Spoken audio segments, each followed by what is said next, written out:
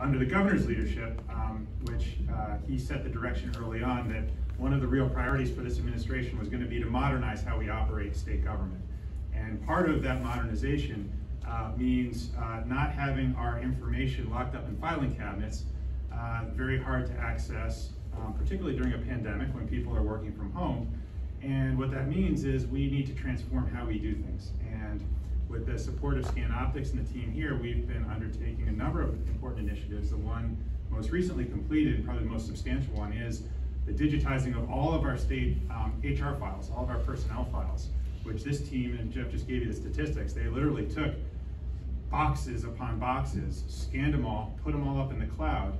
And why does that matter? Uh, well, it matters for a number of reasons. First of all, in some of our state office buildings, you might be horrified to know that we use about 30% of our square footage for filing cabinets. So uh, we can reclaim that space and save a lot of money on our real estate footprint.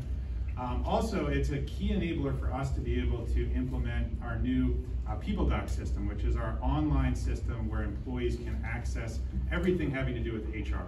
So instead of having to fill out paper forms and go see the HR department when you want to change your address or change your direct deposit or have access to your personnel file for whatever reason, now you can do that yourself on your own time from your pajamas at home in real time.